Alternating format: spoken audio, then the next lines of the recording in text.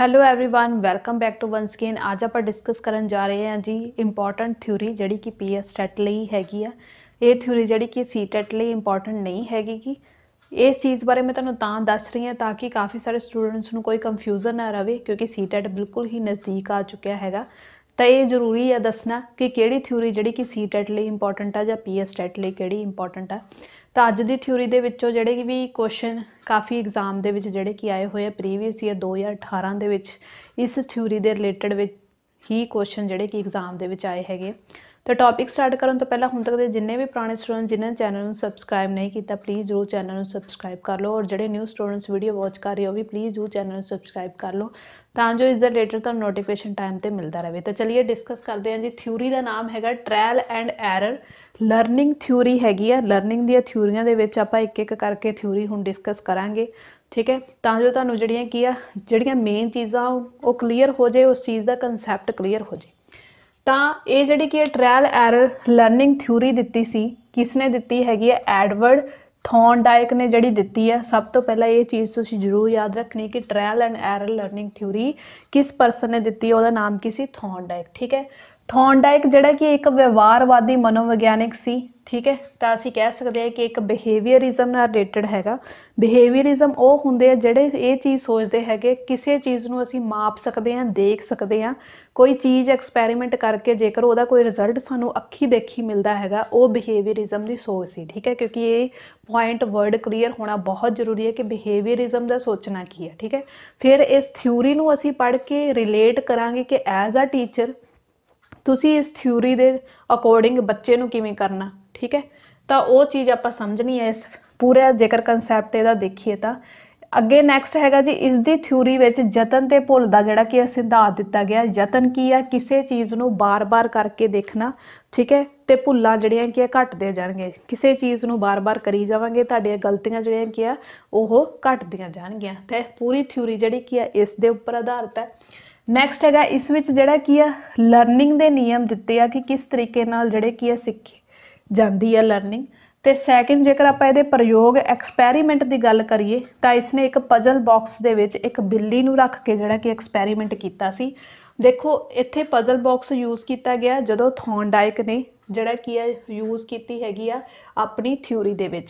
ਜੇਕਰ ਆਪਾਂ ਸਕੀਨਰ ਦੀ ਗੱਲ ਕਰੀਏ, ਤਾਂ ਸਟਿਮੂਲੈਂਸ ਰਿਸਪੌਂਸ ਉੱਥੇ ਜਿਹੜੀ ਕਿ ਸਟਿਮੂਲੈਂਸ ਬਾਕਸ ਵੀ ਜਿਹੜਾ ਕਿ ਉਹਨੂੰ ਕਿਹਾ ਗਿਆ ਹੈ, ਜਾਂ ਸਕੀਨਰ ਬਾਕਸ ਦੇ ਨਾਲ ਨਾਲ ਵੀ ਉਹ ਜਾਣੀ ਜਾਂਦੀ ਹੈ।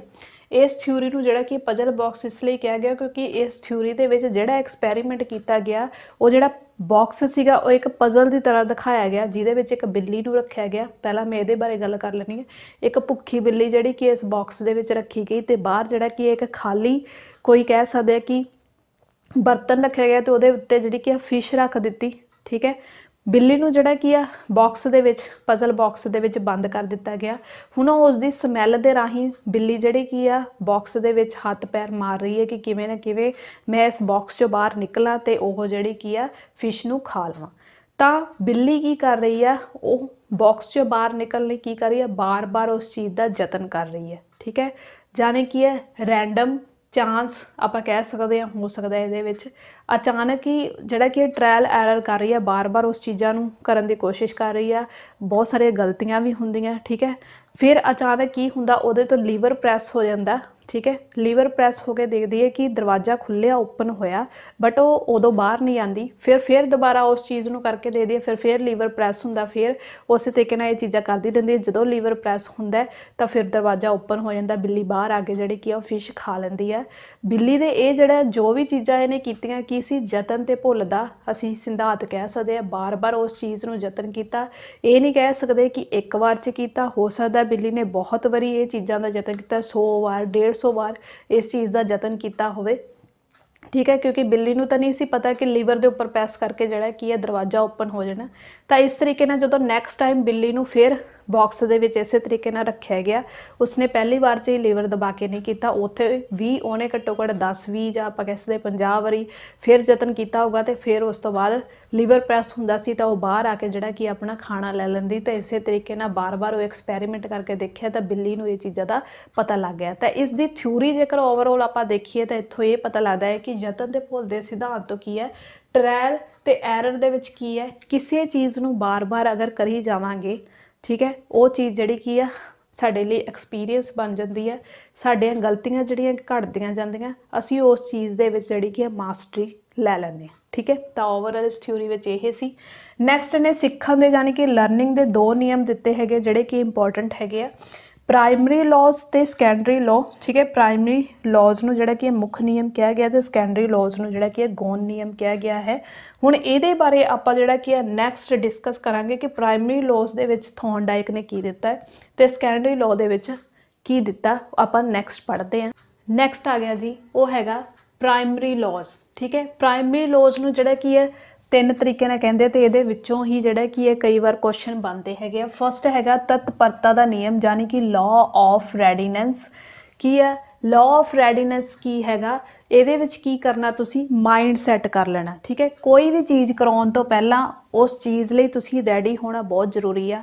ਐਜ਼ ਅ ਅਧਿਆਪਕ, ਤੁਸੀਂ ਕਲਾਸ ਦੇ ਵਿੱਚ ਜੇਕਰ ਬੱਚੇ ਨੂੰ ਕੋਈ ਚੀਜ਼ ਪੜ੍ਹਾ ਰਹੇ ਹੋ, ਤਾਂ ਬੱਚੇ ਨੂੰ ਉਸ ਚੀਜ਼ ਲਈ ਪਹਿਲਾਂ ਰੈਡੀ ਕਰਨਾ ਜ਼ਰੂਰੀ ਹੈ ਜੇਕਰ ਉਹ ਰੈਡੀ ਹੋਊਗਾ ਤਾਂ ਹੀ ਬੱਚਾ ਜਿਹੜਾ ਕੀ ਆ, ਉਸ ਚੀਜ਼ ਨੂੰ ਵਧੀਆ ਸਿੱਖ ਪਾਊਗਾ ਉਹਦੀ ਖੁਸ਼ੀ ਦੇ ਨਾਲ ਜੇਕਰ ਉਹ ਰੈਡੀ ਨਹੀਂ ਹੋਊਗਾ, ਤਾਂ ਜਿੰਨਾ ਮਰਜ਼ੀ ਫਿਰ ਉਹਨੂੰ ਸਮਝਾ ਲਓ ਉਸ ਚੀਜ਼ ਉਹਨੂੰ ਸਮਝ ਨਹੀਂ ਆਊਗੀ। ਇਸ ਲਈ ਸਭ ਤੋਂ ਪਹਿਲਾਂ ਜੇਕਰ ਪ੍ਰਾਇਮਰੀ ਲਾਜ਼ ਦੇ ਵਿੱਚ ਦਿੱਤਾ ਹੈਗਾ ਤਤਪਰਤਾ ਦਾ ਨਿਯਮ ਇਹਨੂੰ ਪੰਜਾਬੀ 'ਚ ਕਹਿੰਦੇ ਆ ਇੰਗਲਿਸ਼ ਦੇ ਵਿੱਚ ਜਿਹੜਾ ਕੀ ਆ ਲਾਅ ਆਫ ਰੈਡੀਨੈਸ ਠੀਕ ਹੈ? ਸੈਕੰਡ ਹੈਗਾ ਜੀ, ਅਭਿਆਸ ਦਾ ਨਿਯਮ ਯਾਨੀ ਕਿ ਲਾਅ ਆਫ ਐਕਸਰਸਾਈਜ਼ ਠੀਕ ਹੈ? ਬਾਰ-ਬਾਰ ਕਿਸੇ ਚੀਜ਼ ਦੀ ਪ੍ਰੈਕਟਿਸ ਕਰਵਾਉਣਾ, ਠੀਕ ਹੈ? ਜਦੋਂ ਅਸੀਂ ਬੱਚੇ ਨੂੰ ਜਿਹੜਾ ਕੀ ਹੈ ਰੈਡੀ ਕਰਤਾ, ਫਿਰ ਉਸ ਪ੍ਰਤੀ ਜਿਹੜਾ ਕੀ ਹੈ ਵਾਰ-ਵਾਰ ਪ੍ਰੈਕਟਿਸ ਕਰਾਵਾਂਗੇ, ਤਾਂ ਉਹ ਚੀਜ਼ ਉਹਨੂੰ ਸਮਝ ਆ ਜਾਊਗੀ ਯਾਨੀ ਕਿ ਅਭਿਆਸ ਦਾ ਨਿਯਮ ਹੈਗਾ। ਜਿਵੇਂ ਕਿ ਆਪਾਂ ਕਹਿ ਦਈਏ ਫੋਰ ਐਗਜ਼ਾਮਪਲ ਮੈਥ ਕਰਵਾਉਣਾ ਤਾਂ ਮੈਥ ਦੇ ਵਿੱਚ ਜੇਕਰ ਅਸੀਂ ਵਾਰ-ਵਾਰ ਉਹ ਸਮ ਕਰਵਾਉਂਦੇ ਰਵਾਂਗੇ, ਬੱਚਾ ਪ੍ਰੈਕਟਿਸ ਕਰਦਾ ਰਹੂਗਾ, ਉਹਨੂੰ ਮੈਥ ਆ ਜਾਊਗਾ, ਠੀਕ ਹੈ?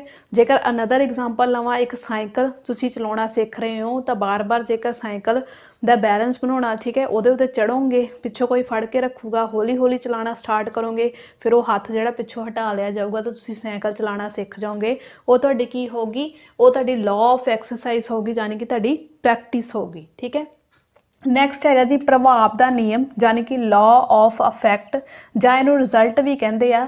ਦੋਵੇਂ ਚੀਜ਼ਾਂ ਜਦੋਂ ਤੁਸੀਂ ਕੀਤੀਆਂ, ਠੀਕ ਹੈ, ਪਹਿਲਾਂ ਤੁਸੀਂ ਉਸ ਚੀਜ਼ ਲਈ ਰੈਡੀ ਹੋਏ, ਫਿਰ ਉਸ ਚੀਜ਼ ਨੂੰ ਵਾਰ-ਵਾਰ ਪ੍ਰੈਕਟਿਸ ਕੀਤੀ, ਫਿਰ ਉਹਦਾ ਜਿਹੜਾ ਰਿਜ਼ਲਟ ਆਊਗਾ, ਜਾਂ ਤਾਂ ਉਹ ਪੋਜ਼ਿਟਿਵ ਆਊਗਾ, ਜਾਂ ਫਿਰ ਉਹ 네ਗੇਟਿਵ ਆਊਗਾ।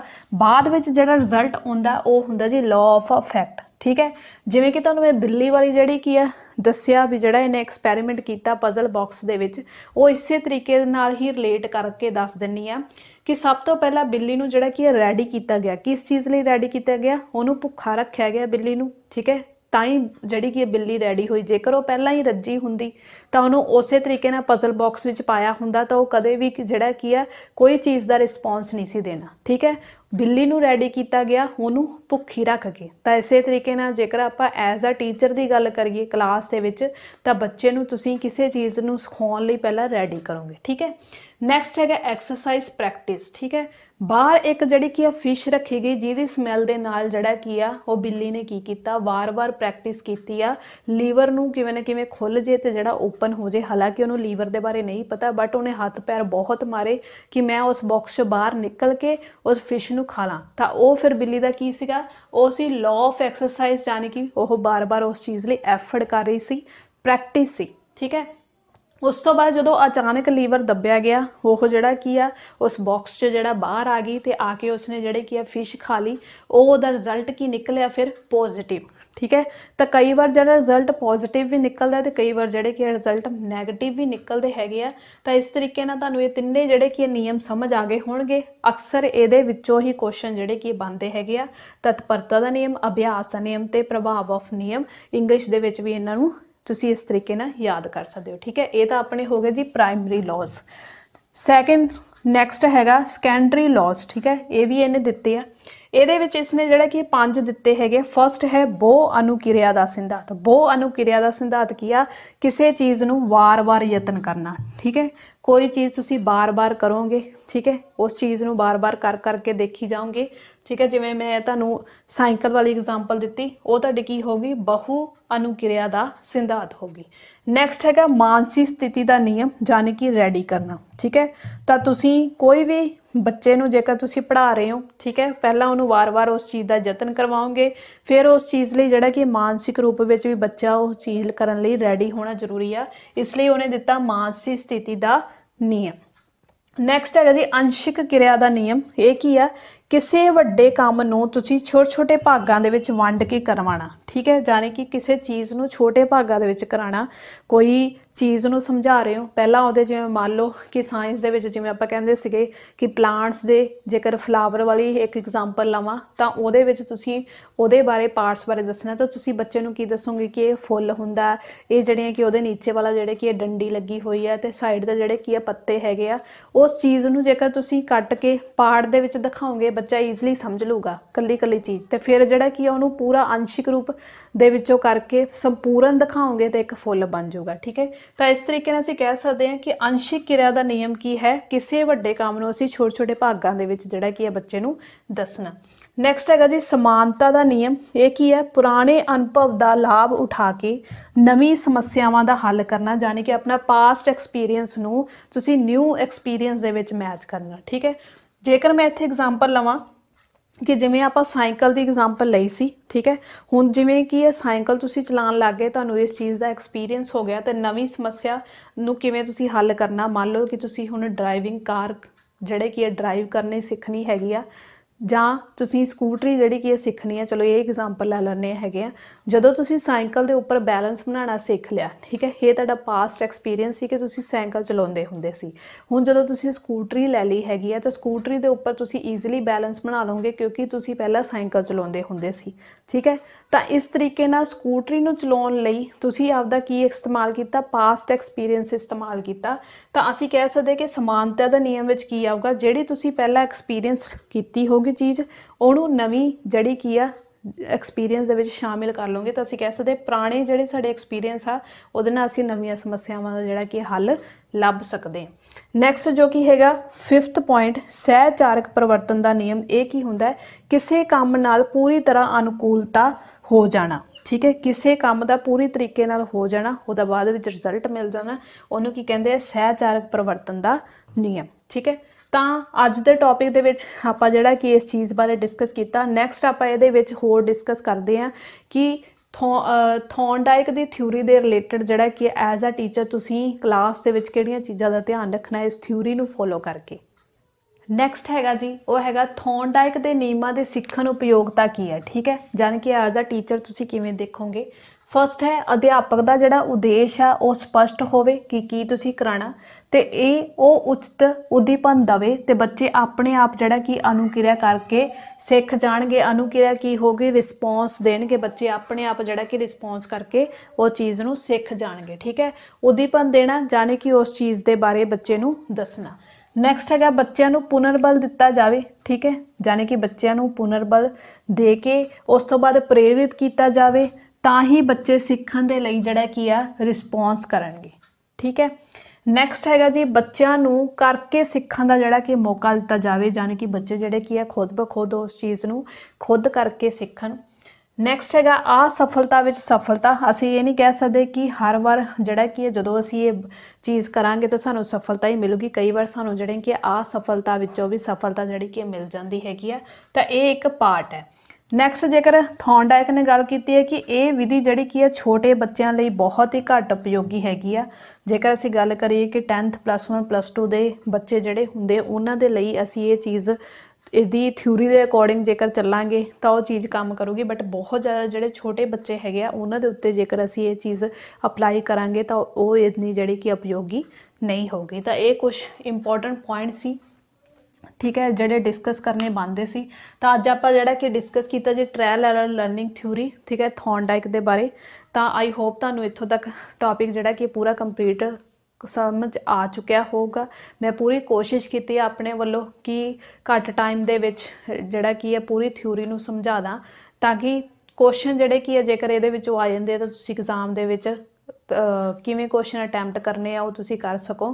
ਤਾਂ ਆਈ ਹੋਪ ਤੁਹਾਨੂੰ ਵੀਡੀਓ ਵਧੀਆ ਲੱਗੀ ਹੋਗੀ ਵੀਡੀਓ ਵਧੀਆ ਲੱਗੀ ਤੇ ਵੀਡੀਓ ਨੂੰ ਲਾਈਕ ਸ਼ੇਅਰ ਜ਼ਰੂਰ ਕਰਿਓ ਤੇ ਕਮੈਂਟਸ ਕਰਕੇ ਜ਼ਰੂਰ ਦੱਸਿਓ ਕਿ ਵੀਡੀਓ ਕਿਵੇਂ ਲੱਗੀ। ਮੇਰੀ ਇਸ ਵੀਡੀਓ ਨੂੰ ਵਾਚ ਕਰਨ ਲਈ ਤੁਹਾਡਾ ਬਹੁਤ ਬਹੁਤ ਧੰਨਵਾਦ।